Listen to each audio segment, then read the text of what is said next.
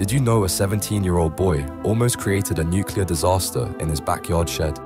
In 1994, David Hahn was just another teenager in Commerce Township, Michigan, obsessed with earning merit badges for his Eagle Scout project. But while other kids collected stamps, David collected radioactive materials.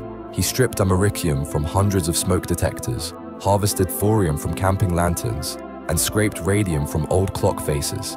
In his makeshift laboratory, he built what he called a neutron source, trying to create an actual nuclear reactor.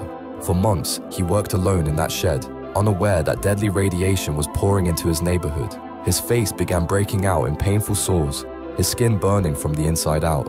When federal agents finally discovered his experiment, radiation levels measured 1,000 times above normal.